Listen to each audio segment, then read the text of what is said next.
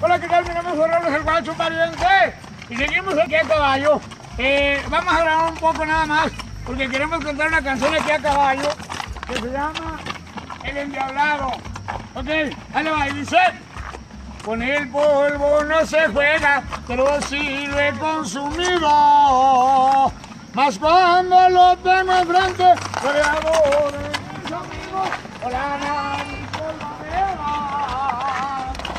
y por la garganta el vino. Y andando bien endiablado, no me asustan los madrazos.